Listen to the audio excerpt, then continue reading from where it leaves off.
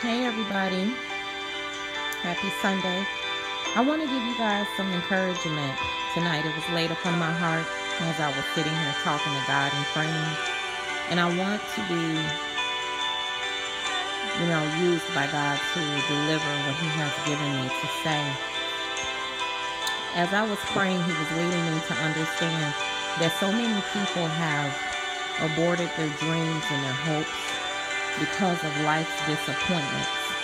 In the season that we're in, there has been a lot of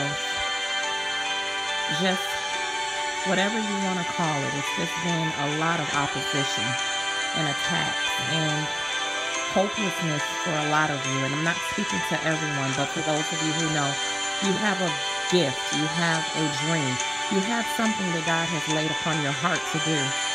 And for whatever reason, because of the things that you're going through, it has caused things to be at a halt or a stop.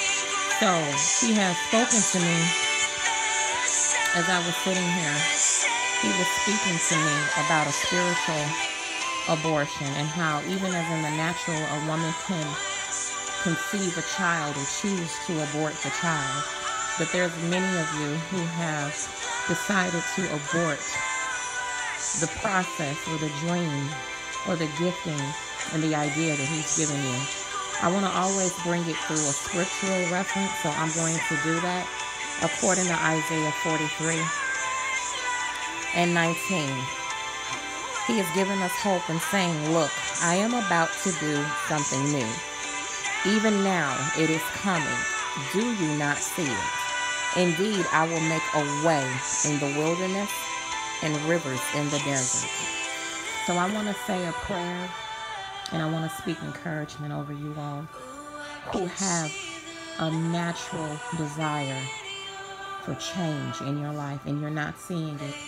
I pray tonight that our Heavenly Father would come down and He would give you peace in your heart. That everything that has been aborted in the natural, that it will supersede the ability of God to flow in your life in the supernatural and that He will complete the idea, the business plan, the need for a new location, the need for the new ministry, whatever it is in your life. I decree and declare that nothing will stand in the way of God's promises over your life.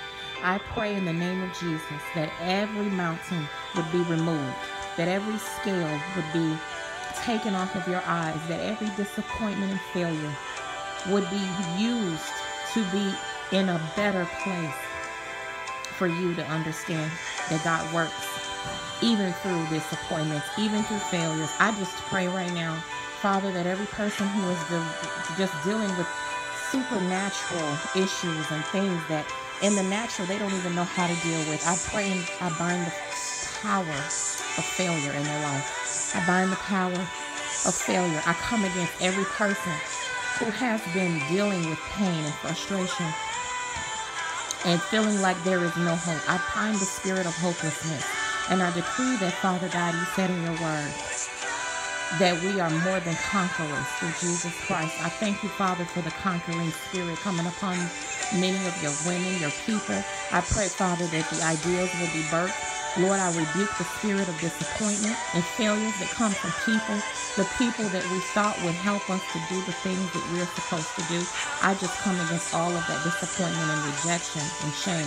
I bind the powers of rejection. I decree that that spiritual seed will not die, that that thing will not be aborted. I pray in the name of Jesus and I ask the Heavenly Father of God to bring that love down on that idea, down on that person, down on that situation Lord, restore faith and restore hope. Father God, take us to that next dimension and you let us see the fruit of our labor, God. Many of us have planted seeds and we need to see the fruit of it, Lord. I rebuke every disappointment and setback and failure right now. I thank you, God, that you're a God that is concerned about our affairs. You're concerned about our heart. You're concerned about the things that we're not even able to move into. I thank you, God, that you're able to deliver us from every evil thing, that you are able to bring us out because you died on the cross for our sins. You died for us And your word says that you died so that we can be free. Your word decrees and declares that you wished above all things that we would prosper and be in good health, even as our soul prospers. I decree souls are prospering tonight, that ideas are being rebirthed, that they are going to begin again to dream and to hope, and that nothing and no spiritual weapon that has been formed will be able to prosper against your people. In Jesus' name, I decree and declare this over you guys. You are blessed. Your life is a gift from God, so live it in celebration. You are unique. You're a spirit and you're light in this world. So let your light shine and count your blessings and always give thanks to God every day.